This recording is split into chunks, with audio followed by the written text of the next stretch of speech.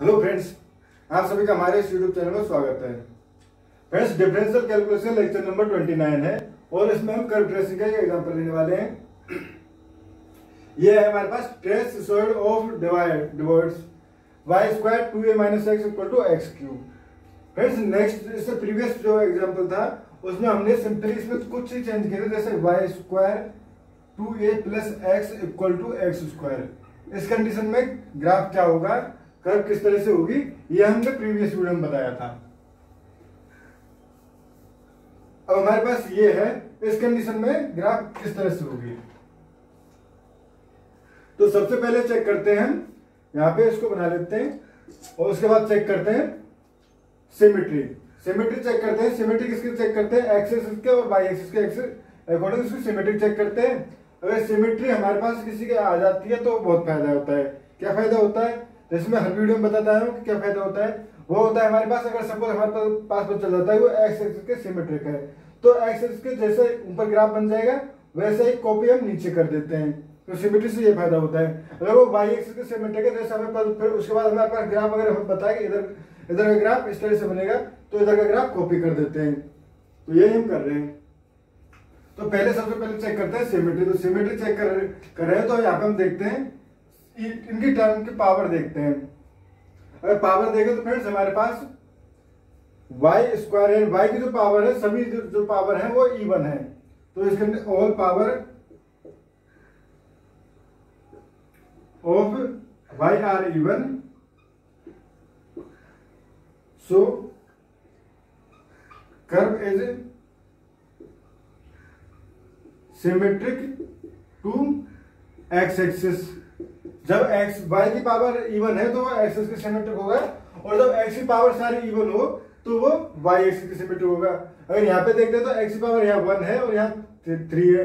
तो x की power और भी है कुछ तो इस कंडीशन कहेंगे, ये ये जो फ़ंक्शन है, ये एक्सिस के सिमेट्रिक नहीं है।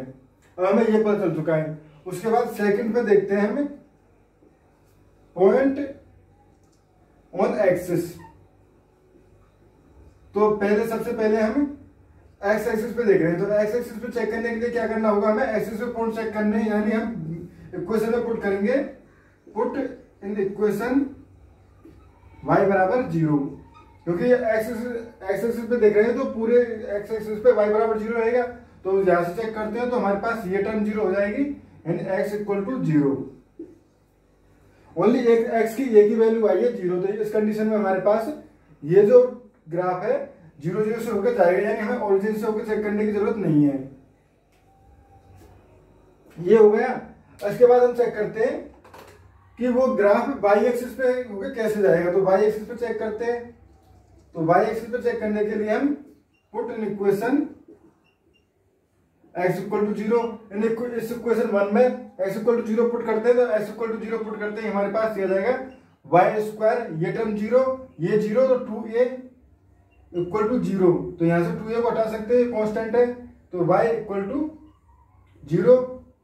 तो ये y एक्सिस को भी ओनली इसी पॉइंट पे काटता है। यानी यहाँ से पता चला कि ये x एक्सिस और y एक्सिस को सिर्फ़ एक ही जगह काटता है, वो भी ओरिजिन पे, और कहीं पर भी ये एक्सिस को नहीं काट रहा। तो ये पता चल चुका है हमें। उसके बाद हम देखते हैं इसकी अनंत स्पर्शी, या एसमटोट्स एसमटोट्स चेक करने के लिए फ्रेंड्स हम देखते हैं कि फ़ंक्शन की वैल्यू इनफाइनाइट कब हो सकती है। बेसिकली यहाँ से देखने पे हमें कुछ पता नहीं चल रहा है एक्स वैल्यू इनफाइनाइट कब हो सकती है वाई की वैल्यू इनफाइनाइट कब हो सकती है। तो एसमटोट्स चेक करते हैं। तो यहाँ से हो जाएगा वाई स्क्वायर बराबर अगर पुट करना चाहें x you upon two a minus x और वाई स्क्वायर बराबर वैल्यू रखना चाहें तो ये हो जाएगा हमारे पास। तो अगर यहाँ से हम डायरेक्टली क्लियरली देख सकते हैं फ्रेंड्स जब एक्स की वैल्यू टू ए पर जाएगी तो फ़ंक्शन जो है इनफाइनाइट हो जाएगा। जब x की वैल्यू टू ए पे जाएगी तो फ़ंक्शन की वैल्यू इनफाइनाइट हो जाएगा। तो यानी x equal to two a is an asymptotes तो ये हो गया x जब x equal to two a की value x equal to a जो है, वो एक एसिम्टोट्स है। यानी x equal to two a यहाँ ग्राफ पे पुट कर देते हैं। सपोज़ टू ए यहाँ पर है तो ये हो गया x equal to two a अब x equal to two a हमारे पास एक एसिम्टोट हो चुका है। अब हम देखते हैं कि फ़ंक्शन है। अब यहाँ पे अगर हम देखें तो फ़ंक्शन की वैल्यू एक्स इनफाइनाइट पे जाएगा। तो उस कंडीशन में ये वैल्यू जो है वाई की वैल्यू जो है पॉजिटिव माइनस पॉजिटिव और नेगेटिव दोनों आएगी। क्योंकि ये वाई बराबर इस तरह से डिफाइन है पॉजिटिव और नेगेटिव तो वाई तो हमारे पास पूरे इसमें डिफाइन है। वाई की वैल्यू पॉजिटिव इनफाइनाइट भी हो सकती है नेगेटिव इनफाइनाइट भी हो सकती है ज़ीरो भी हो सकती है वन भी हो सकती है माइनस वन भी हो सकती है, कुछ भी हो सकती है। ये हमें पता चल गया। अब हमें देखना है एक्स कहाँ से कहाँ पे डिफाइन हो सकता है। तो एक्स की वैल्यू यहीं से देख सकते हैं। वाई इक्वल टू हमारे पास है x cube upon two a minus x अब एक्स की वैल्यू अगर कुछ नेगेटिव है तो एक्स की वैल्यू नेगेटिव होने के केस में हमारे पास ये टर्म जो है पॉजिटिव हो जाएगी क्योंकि एक्स की वैल्यू नेगेटिव है तो ये तो पॉजिटिव है और ये टर्म भी पॉजिटिव हो जाएगी माइनस एक्स क्योंकि अगर एक्स की वैल्यू नेगेटिव है तो तो ये टर्म पॉजिटिव हो जाएगी, ये टर्म नेगेटिव यानी एक्स की वैल्यू नेगेटिव होने पे ये जो अंडर रूट के जो अंदर नंबर आएगा वो नेगेटिव आएगा. यानी कि हमारे पास फ़ंक्शन की जो वाई की एक्स की जो वैल्यू है, वो नेगेटिव नहीं हो सकती। ये हमें पता चल गया एक्स की वैल्यू जो है नेगेटिव नहीं हो सकती इधर वाला पार्ट नहीं आएगा। अब ये पता चल गया। इसके बाद अगर हम देखें तो x की वैल्यू अगर 2a से बड़ी हो जाए सपोज़ 2a से बड़ी हो जाए 3a हो जाए 4a हो जाए तो उस कंडीशन में ये तो पॉजिटिव रहेगा।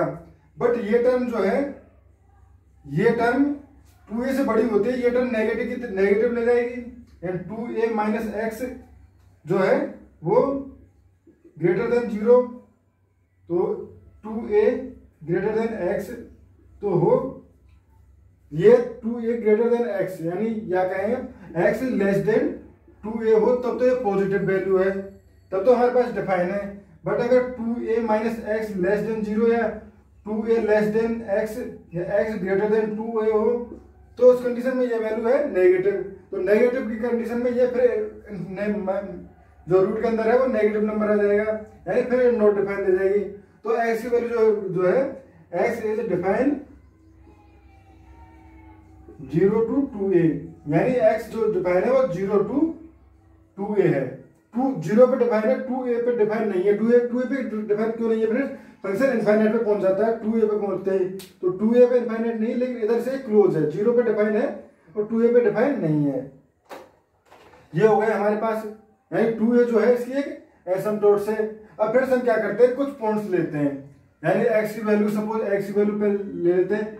ए बाई टू सेकंड ले लेते हैं ए ठीक है, दो पॉइंट्स ले लेते हैं। अब दो पॉइंट्स पे हम ग्राफ बनाते हैं। और एक ले लेते हैं थ्री बाई टू यानी टू ए से छोटा तीन पॉइंट हमने ले लिए तो पहले पॉइंट पे अगर हम देखें वैल्यू वाई की,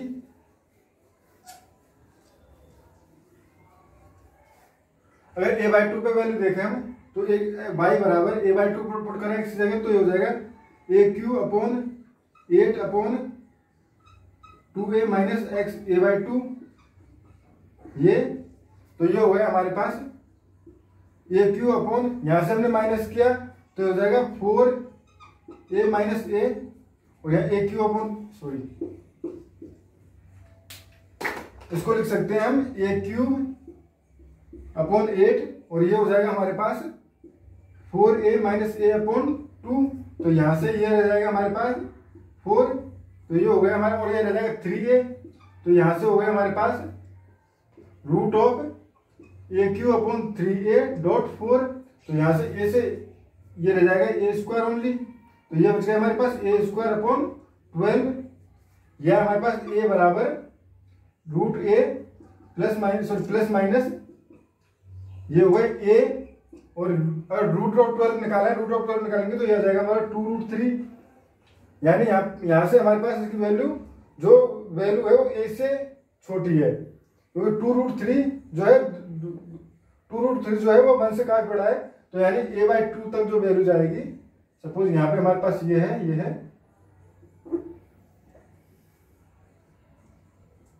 तो एक वैल्यू यहाँ तक गई है, अभी तक तो यहाँ से यहाँ तक गई है। जब ए बरा ए बरा ए पुट करते हैं तो ये हमारे पास आ जाएगा a cube upon only a तो उस कंडीशन में ये वैल्यू ए पे पहुँच जाएगी। यानी यहाँ से हम देखते हैं, पहले तो ये इसके आधे पर भी नहीं पहुँची थी, जब ये एक्स जो है, ये आधा पहुँच गया था ए बाई टू तब तक ये वैल्यू हमारे पास इसके आधे तक भी नहीं पहुँची थी ए के आधे तक। बट जैसे ये ए पर पहुँचा तो इसका जो वैल्यू है, एकदम से इंक्रीज हो गया इस तरह से। अब थ्री ए बाई टू पे देखेंगे three by three a by two पे देखेंगे तो ये हो जाएगा हमारे पास nine so twenty seven a cube upon eight और यहाँ से three a by two put करेंगे तो ये हो जाएगा हमारे पास इंटू ए और यहाँ से three a by two minus कर रहे हैं टू ए में से थ्री ए बाई टू तो यहाँ से हमारे पास फोर ए और ये नीचे टू और आ जाएगा। सॉरी ऊपर टू ए पहुँच जाएगा। तो ये यहाँ से फोर आ गया।